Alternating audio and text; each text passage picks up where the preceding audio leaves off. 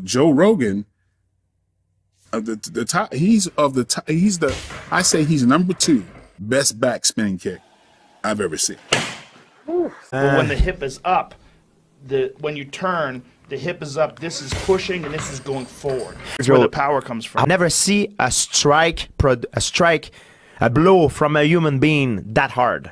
Man, I remember the, the bag when you were working in.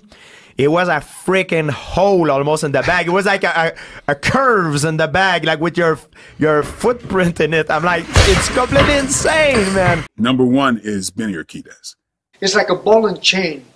Me spinning this chain all the way around and the ball hitting at the last moment.